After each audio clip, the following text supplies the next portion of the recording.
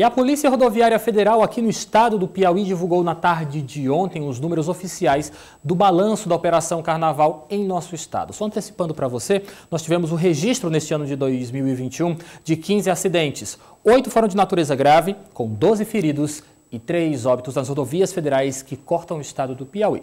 Todos os detalhes estão na reportagem de Zanviana. A ação foi realizada entre os dias 12 e 17 de fevereiro de 2021 e faz parte da Operação Rodoviva 2020-2021, que foi iniciada no último dia 12 de dezembro e deverá ser encerrada no dia 21 de fevereiro de 2021.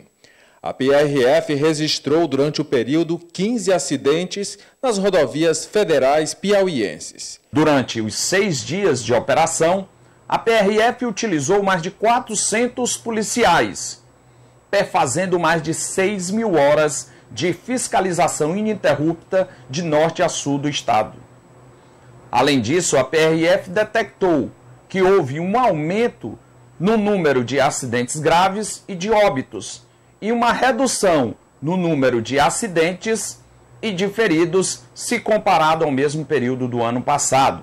As BRs 343, 316 e 408 foram as vias onde mais aconteceram acidentes. Com relação aos acidentes que resultaram em óbitos, a PRF detectou que as causas principais foram a falta de atenção na condução do veículo e a inobservância das regras de trânsito, fatores primordiais para se evitar acidentes.